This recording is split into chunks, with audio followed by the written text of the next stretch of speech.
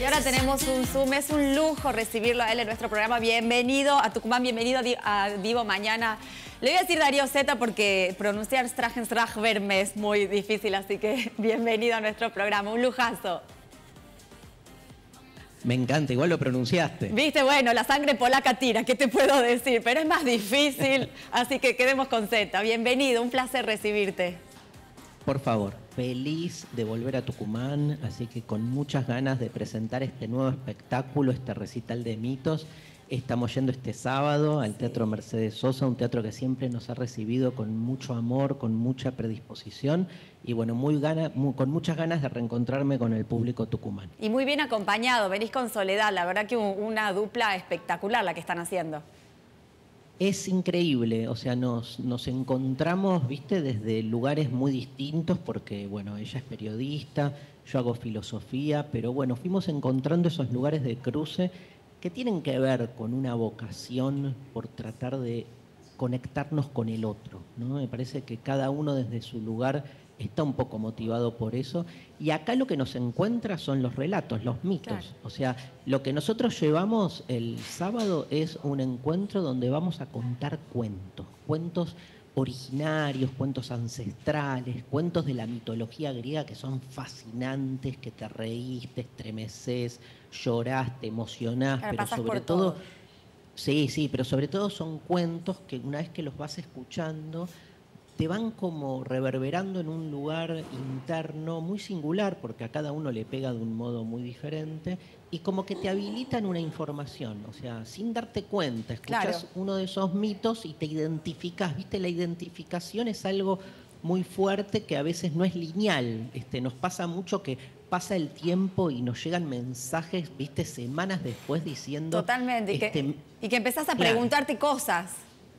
Total, porque no, los mitos lo que tienen es que no son historias cerradas. Viste que cuando, nada, cuando uno es chico y te cuentan cuentos antes de dormir, uno siempre se duerme antes del final. ¿no? Entonces es como, como que ese cierre uno lo hace casi de modo inconsciente, o mientras duerme, o después porque lo asocia con alguna otra cosa la gente sale muy, muy conmovida y, con herramientas como para poder pensarse de otra manera, con lo cual es un espectáculo que tiene un poco todos esos condimentos, porque la pasás bien. Y era la idea, lo, pensaron con este objetivo, digamos, que la gente salga de ahí y se quede pensando, que se quede como carburando un poquito, ¿qué me pasó? ¿Qué me movilizó adentro?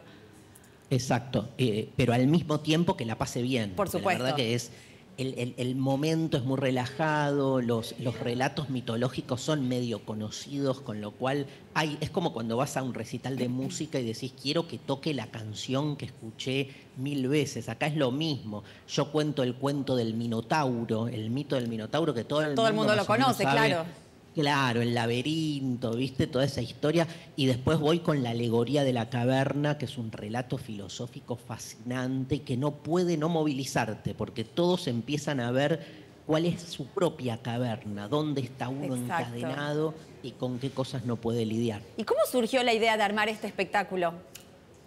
Porque es diferente, digo, a lo, que, a lo que vos venís haciendo, es como algo distinto. Me parece que también te, te sacó un poco de, de, tu lugar de bueno, nunca vas a salir del lugar de filósofo, pero de hacer otra cosa, me parece.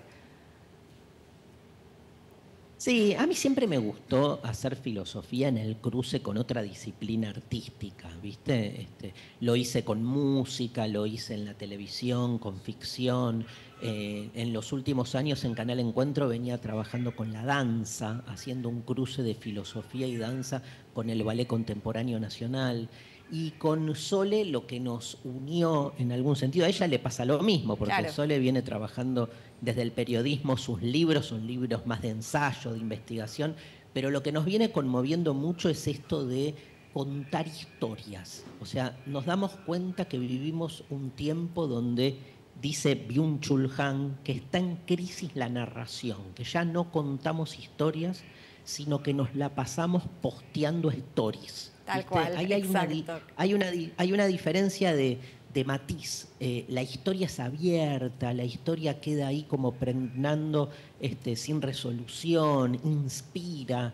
La historia es todo lo contrario, es como una especie de ráfaga que aparece, empieza, termina, efímera y no te deja casi nada. Acá es todo apostamos a otra cosa y, en ese sentido esa parte más escénica que tiene que ver, porque no deja de ser un acontecimiento teatral, el hecho de contar cuentos, además, bueno, hay, no, adelanto, pero hay todas unas situaciones que se dan que tienen que ver con, lo teatral, que bueno, nos encanta y nos parece que llega mucho mejor a la gente. ¿Y, quién más los acompaña en este espectáculo? No, no, estamos nosotros dos. Lo que hacemos es, este, vamos contando mitos de manera eh, alternada. Este, Sole trabaja mucho eh, uno de los mitos así como puntales del espectáculo, que es el mito de Dionisio. Dionisio, el dios de la intensidad, el dios de la pasión, este, y, tenemos además en, el desarrollo de la obra contacto con el público. Eso está buenísimo. Que tenga, a la gente eso le encanta, ¿viste? Y poder compartir con ustedes y entrecruzar palabras.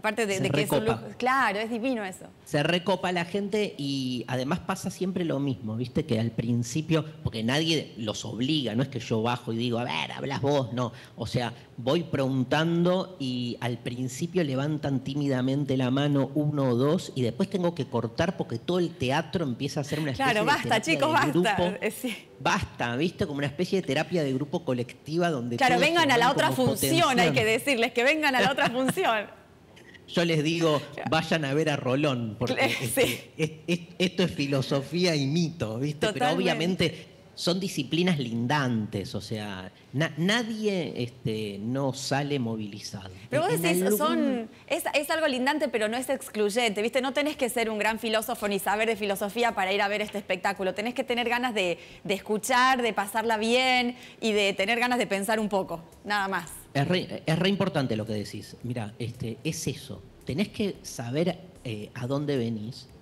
Que digo, es poco, pero tenés que venir predispuesto a eso, a que la cosa te llegue, a estar abierto a, cierta subversión de tus ideas, así como más instituidas. No te olvides que la filosofía es una confrontación contra el sentido común. O sea que hay algo de lo que uno piensa en el cotidiano que se te empieza como a, desmembrar, ¿viste? Porque es, son martillazos, como dice Nietzsche, la práctica filosófica. Entonces, cuando vos escuchás la alegoría de la caverna de Platón, te vas pensando cuáles son las cadenas que te oprimen invisibles en tu vida diaria y de las que no podés zafar y de las que quisieras zafar y no sabes cómo hacer. Cuando escuchás el mito de Dionisio y esas, e, esos trances que, que, sucedían en la época griega, te quedas pensando cuánto, cuántas horas por día le destinas al placer, a tratar de estar conectado con el otro, con la naturaleza, con tu propia búsqueda. O sea, la gente sale realmente movilizada, pero entonces tiene que venir sabiendo que además de, porque te reís un montón, porque yo tiro mil millones de chistes distintos, pero digamos, tenés que saber que venís a eso, a, dejarte, digamos, transformar. Es, es, un espectáculo que inspira. a veces pasa, ¿viste? A veces pasa que vienen algunos como que, no sé, acompañando a alguien y vos decís, yo les veo las caras desde el escenario. Pero vos lees desde arriba. Eh, yo los veo y, veo la cara de a dónde vine, ¿viste? Este, y de repente vas viendo la transformación. ¿Y cómo le va? sí. Eso, y eso para vos ya es un éxito, listo, misión cumplida. yo me obsesiono con. Hay, hay, está el teatro lleno y yo tengo en vista al que pone cara de aburrido, ¿viste? Lo busco, porque no quiero que. Y lo mirás fijamente, y lo mirás fijamente hasta que cambie la cara. Este, Darío, y de estos seis relatos que van a contar, ¿tenés alguno que sea tu preferido?